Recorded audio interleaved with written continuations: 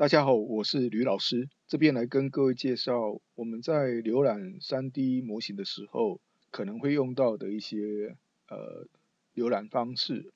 呃，第一个我们会用到的浏览方式是旋转啊，当然我可以按一下这边的旋转工具啊，这个旋转工具按钮按下去之后啊，我就可以进行旋转。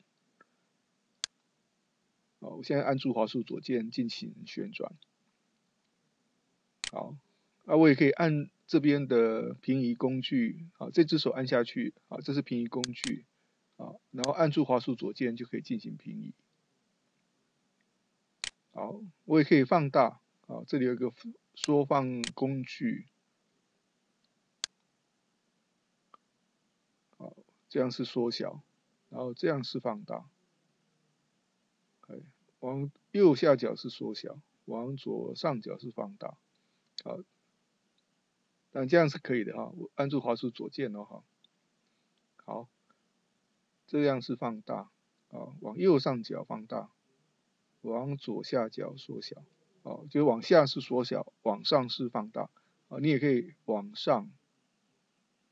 往下，啊，往上就放大，往下就缩小，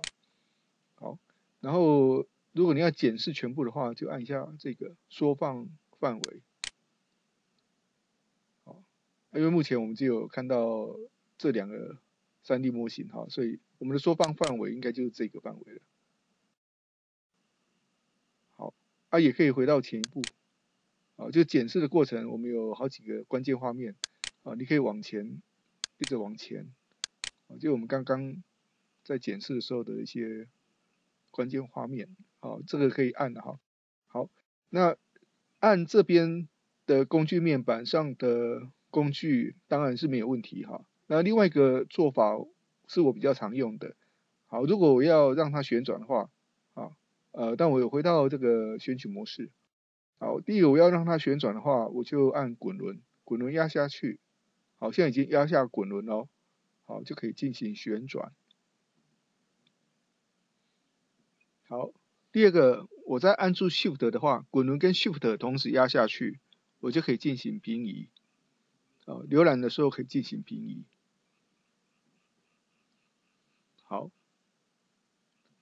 好，这两个是我觉得我比较受用的地方了哈。